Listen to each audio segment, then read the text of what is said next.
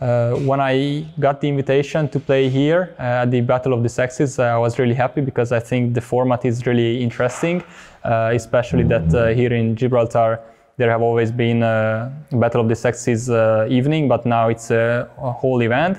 And other than that, I'm really happy to be back in Gibraltar.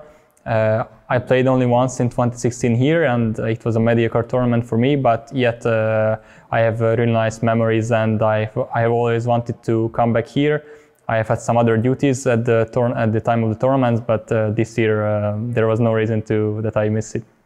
In team events comes uh, responsibility, more responsibility, and somewhat more pressure. Uh, because uh, with my decisions uh, I affect not only my tournament but my teammates tournament as well. On the other hand, uh, whenever a tournament doesn't go well for one individual, uh, he or she can be helped out by the teammates. So I think there is uh, some uh, more pressure. On the other hand, uh, some other help from others as well.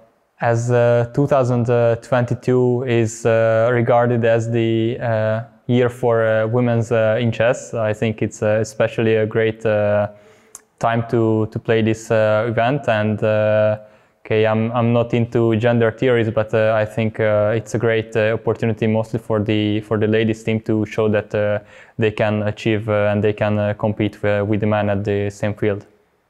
regarding improvement of gender imbalance in, in chess, I think I'm not the right person to ask. you should ask Nigel Short. Of course, we are going to win. we have the momentum now. We started badly in the first uh, two rounds. Uh, but I think uh, the team spirit uh, is better day by day. We get to know uh, each other uh, better. I have spoken with John before that for the women team, it, it's kind of an advantage that they know each other well. And for us, it was like meeting each other for the first time in our lives. But now we are we are catching up, and I hope we will win.